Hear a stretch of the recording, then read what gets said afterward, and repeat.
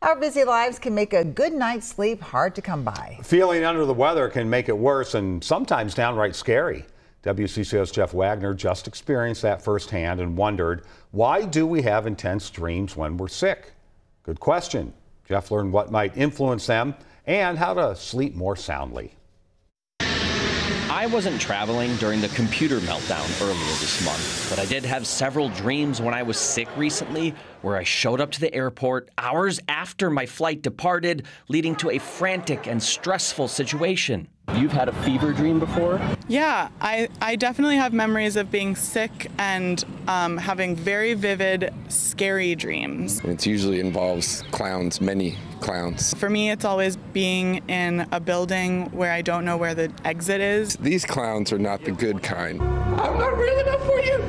And it feels like somebody is chasing me. No matter your fever dream storyline, their appearance feels tied to whether you're sick.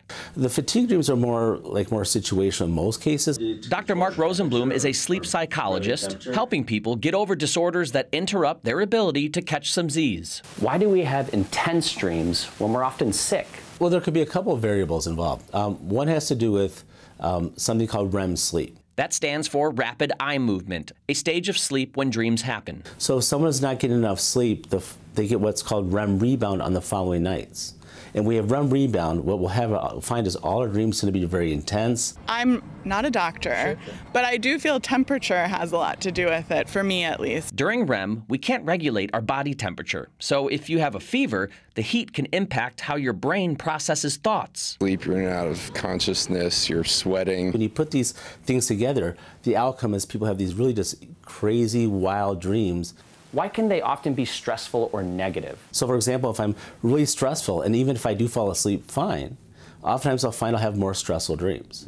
So, I could be stressed out because I'm sick, and it's more so that leading into the stressful dreams? Yeah, and that, that's what we suspect is the connection, yeah. We're uncomfortable, we're unhappy, so it, there's a carryover there, of course. How can we prevent or limit these types of dreams when we're sick? Well, well there's three ideas that I usually uh, convey to people. Number one, prioritize getting a good night's rest. A lack of sleep raises the chance for intense dreams. Secondly, try to relax before bed. Less stress equals less likelihood of a stressful dream. Lastly, keep cool when sleeping. Lowering your body temp, especially around your brain, can calm those dreams. Don't turn off that AC until you're up for good in the morning. Jeff Wagner, WCCO News. Nightmares are somewhat different than fever dreams. They are typically connected to a history of trauma in your life.